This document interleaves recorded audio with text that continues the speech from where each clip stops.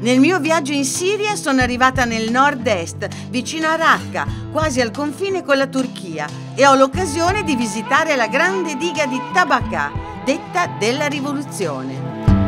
Rivoluzione perché ha portato una vera rivoluzione nell'economia diciamo, agricola di questo, di questo posto. Non solo, poi c'è l'acqua e poi c'è anche l'energia elettrica. Quindi questa zona, questa, la parte della Mesopotamia che è sempre stata la culla della civiltà, è ritornata a fiorire perché si era desertificata. L'acqua era nell'antichità il petrolio.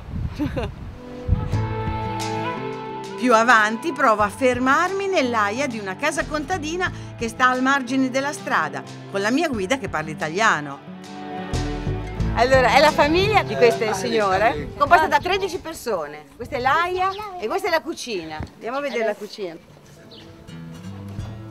Il frigorifero, da quando c'è l'elettricità, per la, la, diga che dà l'elettricità, c'è il frigorifero. Cucinare per 13 persone, eh? È dura, eh? Ani, guarda. Guarda, fiore. Eh. Fiore. Vai Dalal. Dalal. Vai. Malik Hamam. Fatima. Fatima. Fatima. Hamama. Piccione. Amama. Piccione. Chi è che cucina? Di queste signore chi cucina? مين شاطر بالطبخ بيناتكم؟ عليه كلنا نعرفه كلنا نعرفه Tutti e quattro sono bravi. Tutte e quattro. E a questo punto non resta che invitarmi in salotto.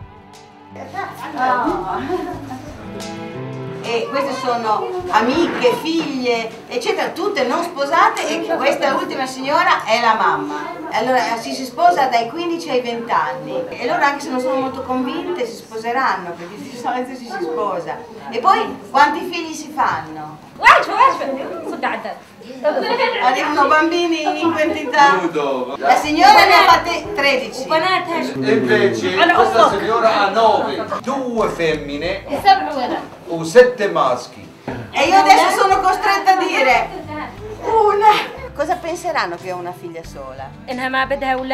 Giustamente dice o non li vuoi oppure stai male e non puoi averli, insomma. Mi chiede perché non ho portato la bambina con me? Cioè, no, è a casa con il papà. E volevamo sapere com'è cambiata la vita da quando c'è la diga, quindi c'è l'elettricità, l'irrigazione, tutte queste cose. Perché in realtà in questi posti la vita in fondo è cambiata pochissimo da, da, dalle, da epoche antichissime.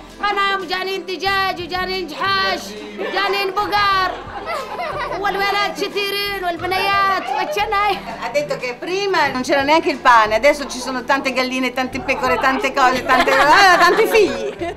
Ma ad interromperci arriva un guastafeste, il severo capofamiglia. Si è arrabbiato che ha detto che insomma cos'è questa roba? Allora andiamo, grazie mille, Sukran.